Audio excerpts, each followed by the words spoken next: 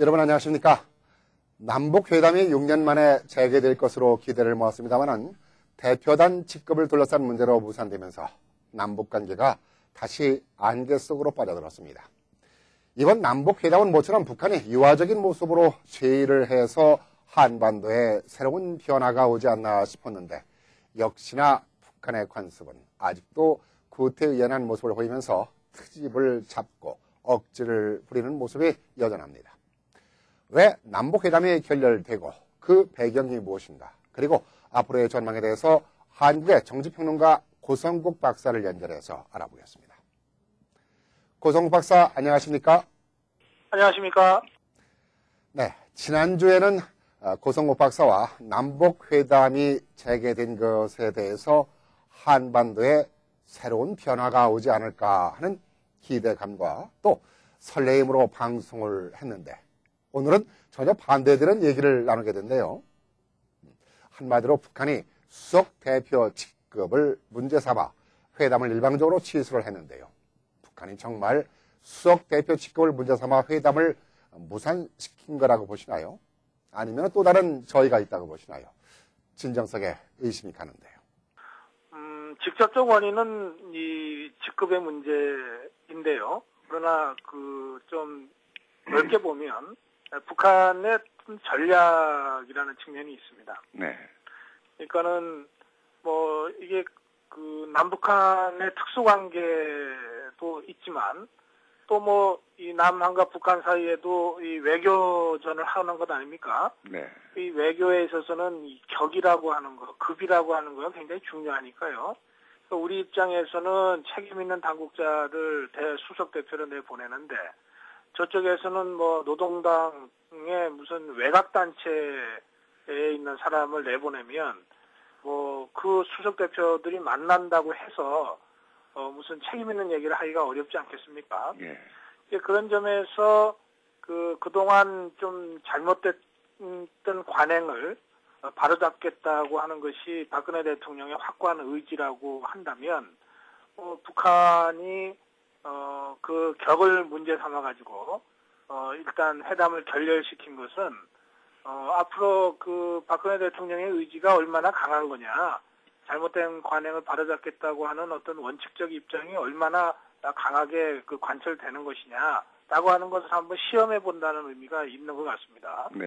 네, 그런 점들은 앞으로도 이제 북한이 지금까지의 태도를 좀 변화시켜서 명실상부하게 그 책임 있는 사람을 내보낼지 이, 이 문제는 좀 지켜봐야 될 것 같고요. 네. 그다음에 이제 시점과 관련해서도 보면은 그 이번에 이제 대화를 제안한 시점이 그 미국 중국 정상회담을 앞둔 직전 아니었습니까? 그렇죠.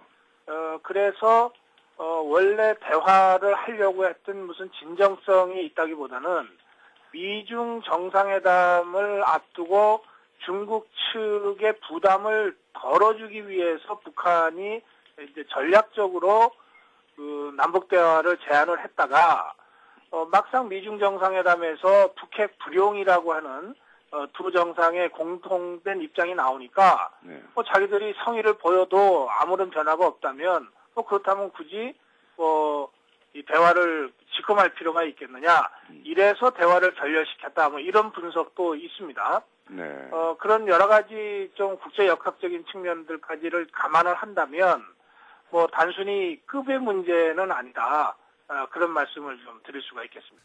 조평통이라는 기관이 한국으로 말하면 민주평화통일자문회의격이라고 그거하고는 조금 좀 수준이 다르다고 그것과는 좀 다릅니까? 이제 우리나라의 민주평통은 대통령이 의장이고요. 거기에 이제 수석 부의장을 중심으로 해서 뭐 해외 동포까지 포함해서 전민족적인 조직 아닙니까? 네.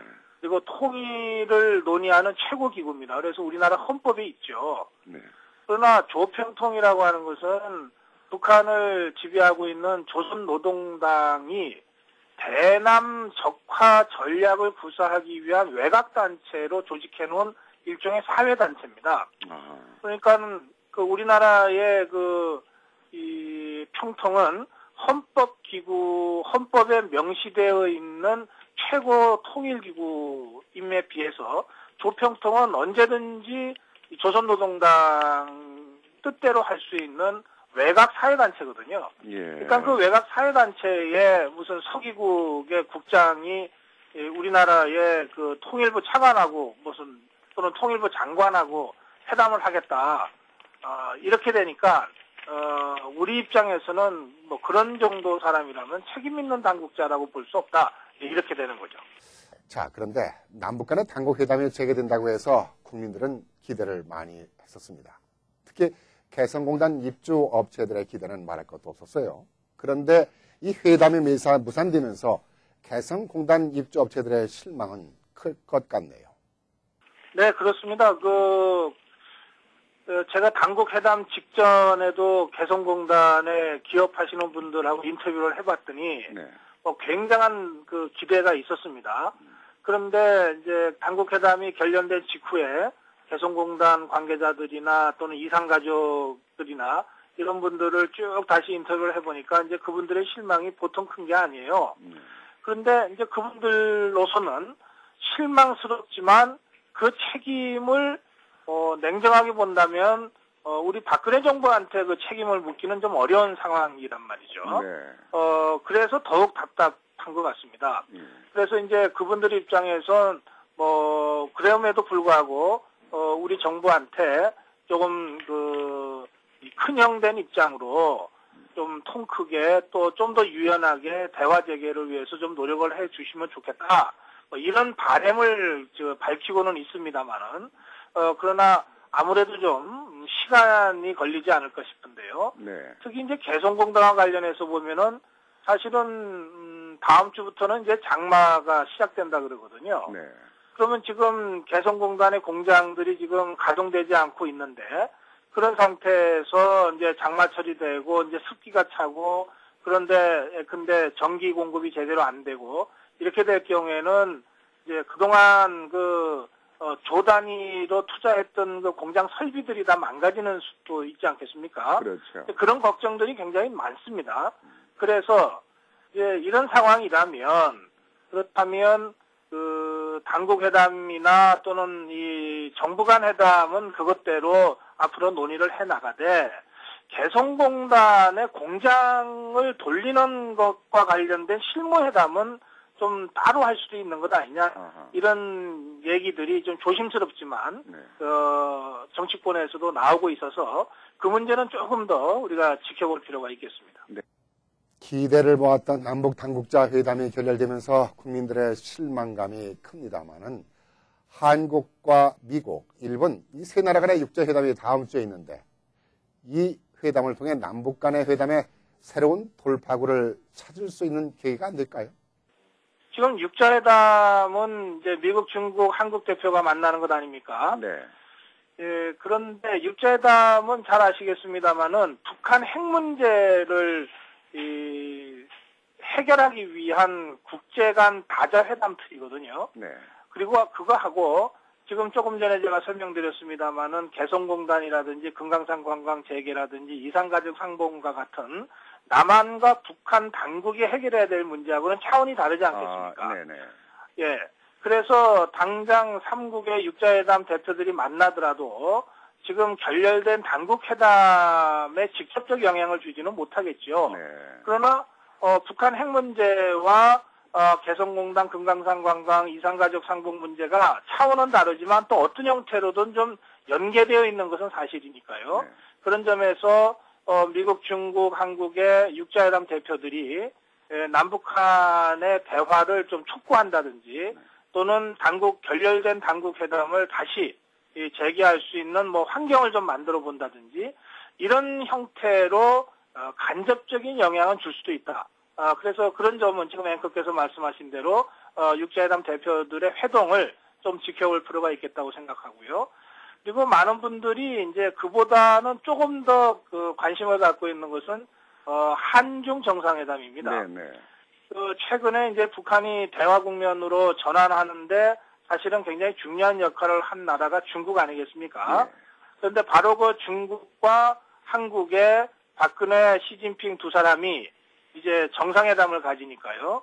그 회담에서 어, 북한이 다시 대화로 나올 수 있게 만드는 여러 가지 좀 압박과 또는 환경 조성을 할 수 있다면 그렇다면은 북한이 다시 이 결렬된 당국회담에 응하거나 아니면 당국 회담을 다시 하지는 않더라도 뭐 개성공단이나 이산가족 상봉은 그것대로 또 논의해보고 추진해볼 수 있거든요. 그런 식의 태도 변화를 가져올 수도 있다. 그래서 한중 정상회담에 대한 이 관심과 기대는 더 높아지고 있는 그런 상황이라고 말씀드릴 수 있습니다. 어, 그러한 방법도 또다시 경색된 남북 관계를 완화시키는 방법이 될 것 같네요. 아, 또한 한중 회담에서도 남북 간의 회담이 재개될 수 있는 실마리를 찾았으면 싶네요. 아, 그런데요. 이번에 남북 간의 당국자 회담이 결렬된 것에 대해서 일부에서는 이러쿵 저러쿵 말도 있고 박근혜 정부의 대북 정책에 금이 가는 것이 아니냐는 우리의 소리가 나오고 있어요. 하지만 기본적으로는 정치권 모두 정부의 대북 정책의 원칙을 고수하는 부분에 대해서는 지지를 하고 있는 모습이에요. 잘하고 있다는 소리는 나오지만은 지금 남북한 간의 불안은 계속되고 있다 보니까 한반도 프로세스 정책이 과연 어디까지 유지가 되어야 하느냐를 놓고 고민을 하지 않을 수 없는데요. 자, 그렇다면 대북 정책, 궤도 수정이냐 아니면 원칙 고수냐 어떻게 생각하시나요? 음, 저는 뭐 원칙을 계속 고수해 나갈 거라고 생각합니다. 네. 박근혜 대통령이 제시한 한반도 신뢰 프로세스에서 그 신뢰를 구축하는 문제요. 이 신뢰를 구축하는 것은 작은 것에서부터 차근차근 구축하자고 하고 있는 건데요. 네. 그런데 작은 것에서부터라도 차근차근 신뢰를 구축하려면 어, 북쪽이 진정성을 갖고 나와야 된다는 겁니다. 그냥 그 이 겉으로만 뭐 대화하자고 그러고 뒤로 딴짓하는 것은 신뢰 구축이 안 되겠죠. 그러니까 이번에도 보면은 어 당국 회담을 하자고 했는데 급을 그 투집 잡아가지고서 결렬시키는 걸 보면 이런 식으로는 신뢰 구축이 잘 안 된다라고 보는 겁니다. 그러니까 박근혜 대통령은 북한의 이런 잘못된 태도와 관행을 어, 이번 기회에 고쳐놓지 않으면 네. 앞으로 대화를 하더라도 대화를 위한 대화에 그칠 가능성이 있다고 보는 거죠. 네. 그래서 어, 제대로 된 원칙을 세워서 다소 시간이 걸리더라도 하나하나 신뢰를 세워나가야만 한반도 신뢰 프로세스가 된다라고 보는 것이고요. 그런 점에서는 이번에 그 원칙적인 입장을 어, 좀더 어, 강하게 고수해 나갈 가능성이 더 높다 이런 생각이 듭니다. 지금 야권에서는 어, 그래도 맏형답게 좀 통 크게 북한이 그렇다 하더라도 좀 유연하게 나가야 되지 않느냐 이런 주문을 계속 하고 있는데요. 이 점에서는 박근혜 대통령과 야당은 다소 어, 좀 생각이 다르고 그 접근 그 접근법에 있어서 좀 차이가 있는 것이 사실이다. 어, 그렇게 말씀드릴 수 있겠습니다. 네, 수고 많으셨습니다. 지금까지 정치평론가 고성국 박사였습니다.